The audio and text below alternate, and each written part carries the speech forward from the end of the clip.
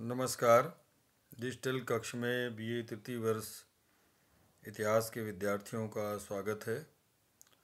और जैसा कि आज ही हमने नेताजी सुभाष चंद्र बोस की जयंती मनाई है तो उसी सिलसिले में आज़ाद हिंद फौज की बात हुई। कई वक्ताओं ने वहाँ अपनी बातचीत की हुई थी। तो इस तरह से आज़ाद हिंद फौज के जो सेना नायक थे, सैनिक थे, उनके ऊपर जब मुकदमा चलाया गया तो संपूर्ण भारतवर्ष की जनता ने जो मुकदमों का निर्णय था, उनका विरोध किया और देश में चारों ओर आवाज़ उठने लगी कि लाल किले को तोड़ दो, आज़ाद हिंद फौज को छोड़ दो।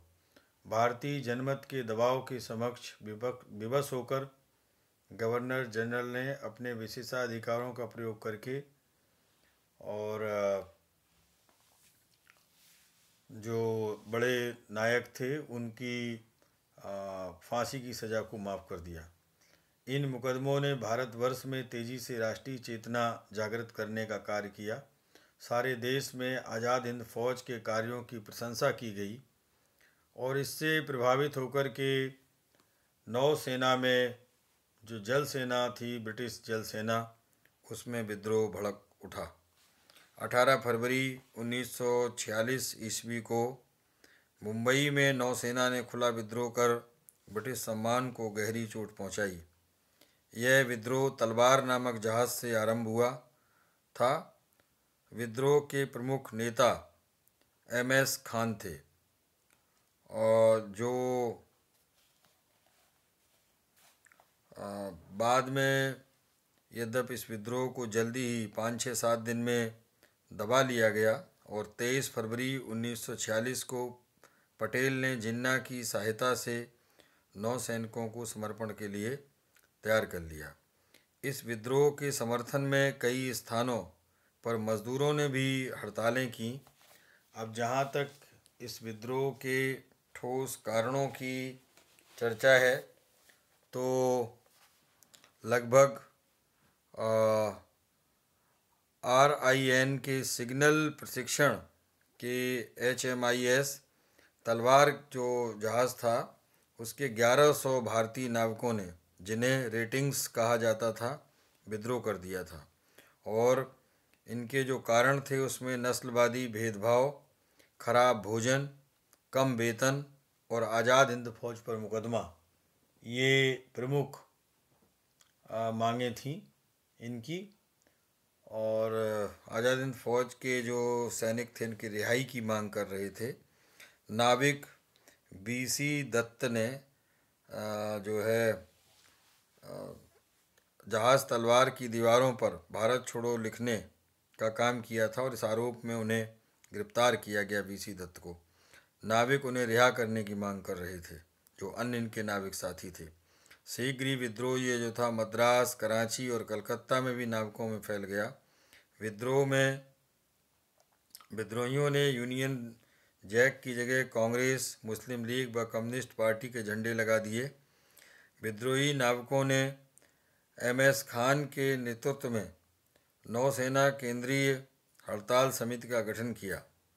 बम्बई पूना, कलकत्ता जयसोर तथा अंबाला में रॉयल इंडियन एयरफोर्स के कर्मचारियों ने सहानुभूति हड़ताल रखी।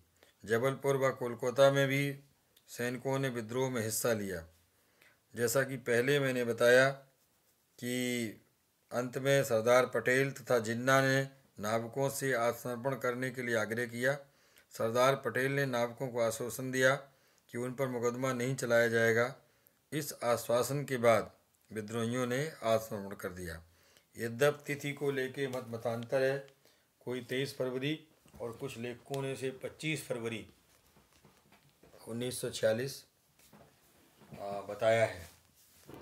तो उन्नीस सौ सत्तावन के बाद यह पहला अवसर था जब भारतीय सेना ने ब्रिटिश सत्ता को खुली चुनौती दी हो।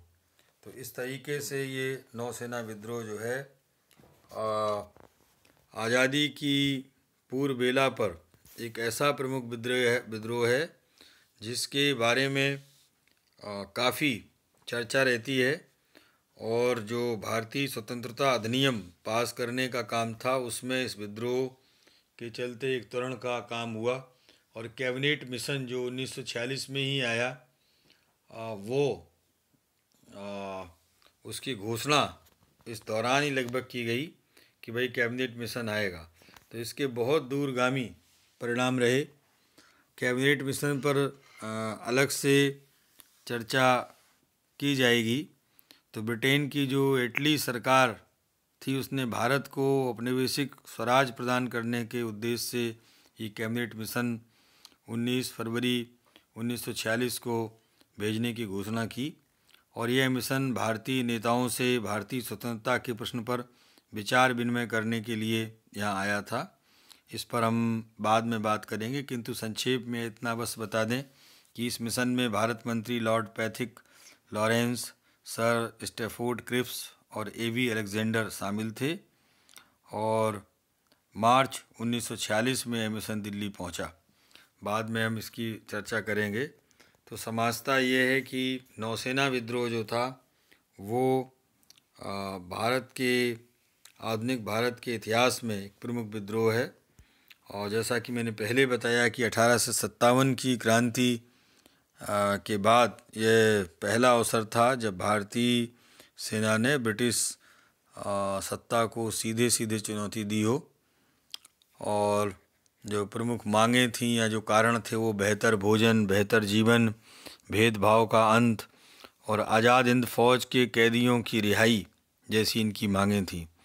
और इनके समर्थन में मज़दूरों ने हड़ताल की और जो एयर फोर्स थी, उसके सैनिकों ने भी सांकेतिक हड़ताल इनके समर्थन में की हुई थी। तो इससे संदर्भ में आपके मन में कोई जिज्ञासा या प्रश्न है तो आप अवश्य पूछें। धन्यवाद।